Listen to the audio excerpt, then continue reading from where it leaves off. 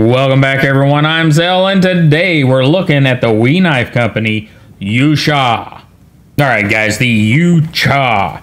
Oh my goodness, this is a knife that showed up at Blade Show last year. There were only two of them, both prototypes, and it was a knife that I just, I don't know, I, I had a thing for it. It's, it's just a super, super cool knife to me and, you know, it's probably because the very first WE knife I ever had was this model, the 617. And uh, the 617 and the Yucha are a whole lot alike. A whole lot alike. Now, we'll see some differences as we go along, but ergonomically, the two knives are fairly close. And the 617 ergonomically is one of my favorite WE knives. So let's get a look at the Yucha itself. Uh, first off, guys, this is a big one. It's 4.81 inches closed, 0.6 thick, and a closed height of 1.36, and an overall length of probably have, nope, we can barely get it on camera here, at 8.7, and a blade length of 3.93, an edge length of 3.48, and a blade stock thickness of 4 millimeters or 0.158, with a nice, fairly light weight of 4.39 for such a big knife, and a huge grip length of 4.2 inches. Pretty impressive there. Let's look at the construction. We have WE's standard screws. We're not going to test them. We know how they work. They're just freaking awesome screws. And what we essentially have, people are going to argue with me about this because you guys like to argue. It's just the way humans are. But this is a frame lock, in my opinion, with a carbon fiber overlay. And what do I mean by that? Well, we have a lock bar in here, and we have a lock bar insert. And you can see how it locks up down in there. Locks up quite nicely actually locks up a little further than what you can see because of the insert. And because of the way it works with these shadow box scales, uh, I consider it a frame lock with carbon fiber overlay. Now, we've got the nice WE screws on this end of the knife, WE pivot, uh, got the WE logo pivot on this side, shadow box scale again. Again, we have very much the same backspacer that we had in the 617. Uh, in fact, nope, it is different. I started to say it might be a recycled part, but it is not. It is different. Got a little more jimping on it. A lot more jimping, actually. Uh, other than that, yeah, it's a, a redone piece in CAD to fit this knife. and fits it quite well. So overall, uh, things to be aware of. This is a bit slick, but the knife locks you in so well, no matter where you get a hold of it, that uh, I have not found that to be a problem. Let's do a little bit of size comparison. now, before you guys start asking, this blue one with the black blade here is my personal Yucha, and no, you may not have it. There's a 617 and a buck 110. As we can see, the 617 is, well, the same size. Go figure, huh? The buck 110 is uh, only slightly smaller and a lot heavier. And we'll get some of it, one of its peers out here anyhow that I have available. There is a Liang Ma 15 or XV. Uh, something people are aware of. There's a Steel Will Intrigue, the uh, larger model, and we'll of course get our Delica out. And there you go. It is a big, not really a bruiser of a knife because it's pretty light, but it's a big knife for sure. And now let's get a look at the blade. we've got that's why I've got all three of them out here because we've got two different blade styles. This is the blackened coated uh, blade. And that black coating, everyone's always worried about that black coating. I can't find the 617 that I carry around all the time because I'm in the midst of moving everything around down here and up in the shop. So I was going to show you guys that, and I apologize that I can't. But uh, that coating looks pretty much as new as it was the day I got the knife. So I have no fear of WE's black coatings.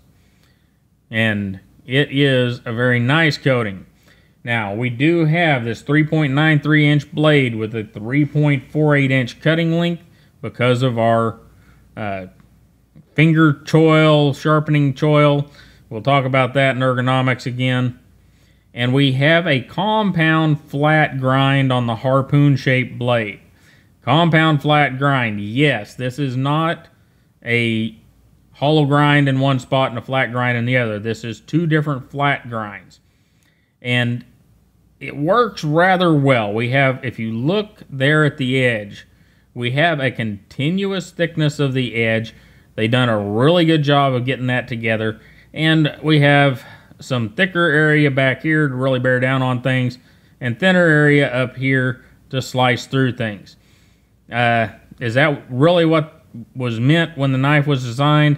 Uh, well, I kind of doubt it. I'm really believing that the knife was designed with the compound flat grind to allow for the wee bird eye. Uh, that's my guess. And, you know, it comes out to a very attractive blade that has proven to be very useful, and the compound grind doesn't compromise what you're doing in the slightest, or doesn't compromise what I'm doing in the slightest. So, very well done there. And it is a blade of, see if you can read that there. Hard to see, I know. S35VN. So let's do our pause and read card, and then I'll be right back with you.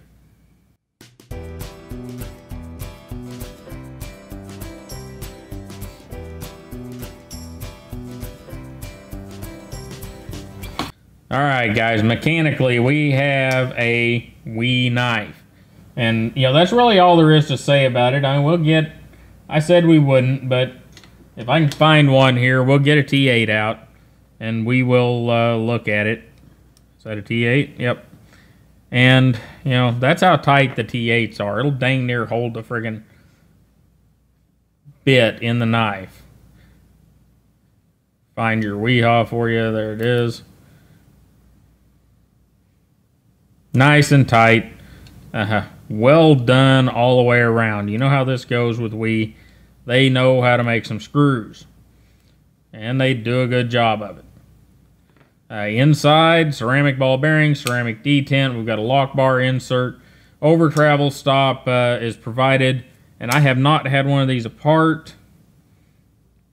And it appears, nope, over travel stop is provided by the scale. So but over travel stop is there. Very, very nicely done.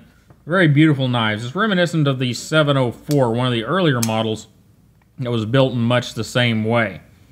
Now, ergonomically, that was one of the things way back when, nearly two years ago, that attracted me to the 617. Put your hand around it, and you are just in good shape for general cutting.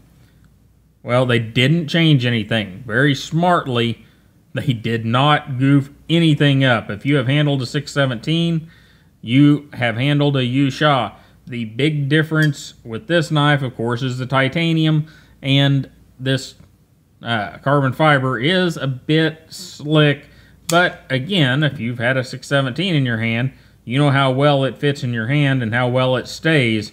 So the Yucha is going to do the same thing. I haven't had any problem with slick handles yet. Uh, would it have been nice if we had textured something? Well, yeah, of course it would, but I mean, man, that looks so good. I don't know. I'm I'm kind of torn. I would kind of like texture on there, but I kind of like the way it looks. And uh, let's get a look at one more thing before we get it in the pocket. We looked at the black blade. Let's look at our stonewash blade. And this is WE Stonewash, and ugh. They just do such a good job with the stonewash. That blade is such a beautiful thing. You know, and we'll get a look at the colors too. I need to run these things through for you. This is the gold and carbon fiber, or bronze, or whatever you'd like to call it. I'm not sure what they're calling it. I would call it gold, but I don't always see colors quite perfectly, so you guys tell me. And then this is our gray in carbon fiber. This is Brian spec, I would assume. Of course, we do have the uh, kind of gold looking screws there, so that might mess him up. But that's all right. And then this is the blue.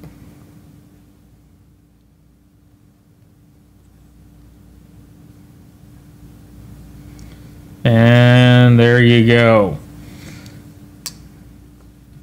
So to kind of gather all of this up, at a price tag of $253, I think the Yucha, my personally for me, I bought one, so it was a steal. Uh, however, you know, having the 617, I was a bit emotionally tied to the knife, I suppose, but I like it a lot. So what would Zel change? The only thing that I would change on this knife, well, I say only, there would be a couple of things. One, I don't really need the harpoon. In fact, there are some places where the harpoon is going to be a problem. So I would probably uh, get rid of the harpoon, even though I know many of you like it. The other thing I would do was is I would run that grind through that eye and make it a single nice flat grind if I were going to do it myself. However, one thing I did not mention is the jimping up here and the crowning of the blade. They have made this just beautiful. All those little details that you don't really think about until you go to set your finger somewhere on the knife or put your hand around it, and then you're like, oh my God, they thought about that. And uh, it's just an impressive thing. They even crowned out the top of the harpoon just a little bit. That's uh, wow pretty impressive, friends and neighbors. If you are interested in the Yucha, Yucha at all, guys, uh, it's gonna be one of my favorites. It's not without its things, you know the the compound grind. Which, if you're worried about the compound grind on sharpening, in this case, the compound grind is not going to cause you any sharpening issues for quite a long while you know, at some point it might if you get your angles a little off and you may need to do some resetting of things. And as the bevels widen up, it may uh, give you some problems as you, you know, make the blade shorter. But overall, guys, the Yucha, in my opinion, is a very good buy, a very good construction method. I really like how WE is using this shadow boxing that is reminiscent of what Hinderer does with uh, some of his knives. And it's just a beautiful thing. They started it, what, last year with the uh, 704, and now we're seeing it with the Yucha in production. And uh, what does Yucha mean, right? I've been saying that word and saying that word. Well, if you were in China, Yucha would mean harpoon. Quite simply. You guys have a wonderful day. Don't forget to like, share, and subscribe, and I will see you next time.